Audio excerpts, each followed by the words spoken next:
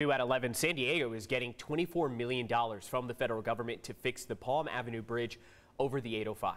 It is part of the Bipartisan Infrastructure Act. CBS 8's Dana Marie McNichol live in the South Bay now to share the impact on our bridges and roads. It's a lot of money coming to Palm Avenue.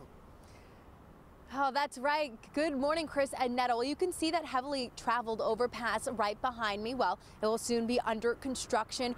Today, we got an idea of why it's being repaired and what it's going to look like once it's open.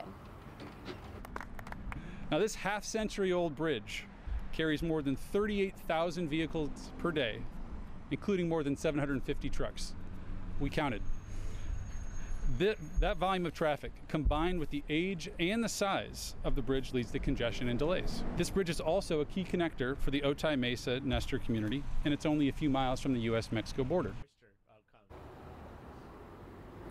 Now, that was Deputy Highway Administrator Andrew Rogers, who, according to him, this project will provide an immense benefit for the communities that rely on the bridges to get to work and school, as well as transport goods across the region. This project will also make the bridge more structurally sound against earthquakes.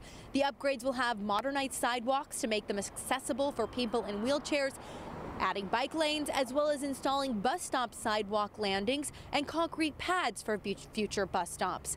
The goal is to provide a safer driving experience with less congestion, fewer delays, and longer long-term maintenance costs. It hopes to improve the quality of life for a historically disadvantaged community, they say. Now, this is all possible because the city will receive $24 million in federal funds from President Biden's bipartisan infrastructure law.